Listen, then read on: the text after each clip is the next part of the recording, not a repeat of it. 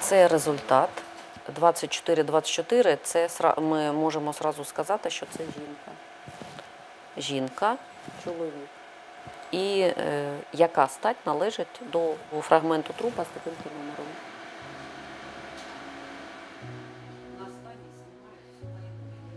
Цифру 59 загиблих це е, я надію, що це кінцева цифра кількості загиблих.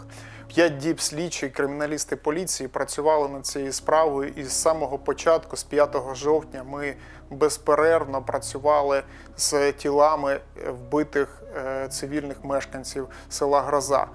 Ми дослідили і провели е, 307 досліджень ДНК, в результаті чого ми ідентифікували і встановили всіх людей, які загинули в селі Гроза. За результатами проведення ДНК досліджень ми ідентифікували 19 людей. І Для нас це було дуже важко, тому що деякі тіла ну, буквально е, було е, розірвано на е, шматки, і одне тіло чоловіка ми зібрали із 20 частин. кропотлива робота, яка вимагає уваги, концентрації.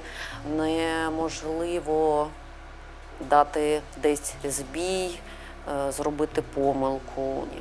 Але є задача, і ми її виконуємо. Прилад Енді дає можливість встановити ДНК-профіль е, у найкоротший термін. Для нього є спеціальні картриджі, куди ми поміщаємо чотири зразки за раз. Результати е, е, вже е, ми скачуємо на флешку і переносимо в систему загальну базу, де вже автоматично порівнюється родинний зв'язок та фрагмент трупа з фрагментом трупа.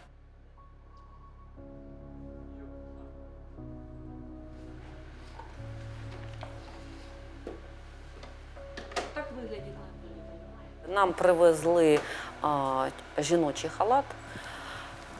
Ми е, з його поверхні е, виділили ДНК е, жінки, яка носила цей халат. Тому що родичі всі виїхали або ну, зовсім нікого немає. Всі працювали в режимі нон-стоп, щоб люди могли поховати та забрати своїх близьких.